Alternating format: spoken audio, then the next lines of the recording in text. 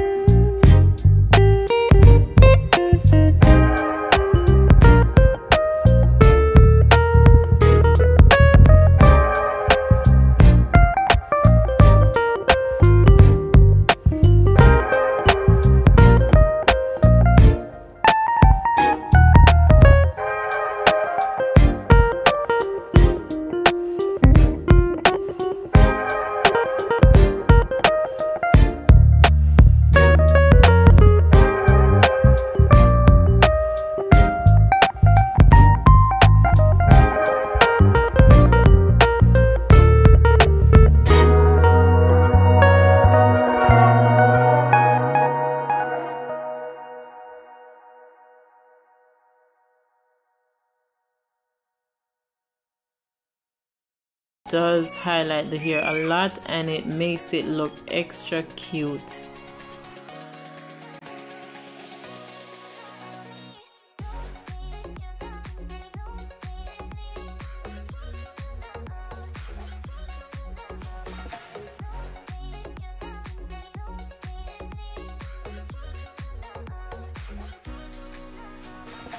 So guys this is the finished look you can just leave your comments down below share the video thumbs up and don't forget to subscribe and turn on your post notification bell. And if you want me to do a specific hair tutorial you can just comment that down below. Thank you so much for watching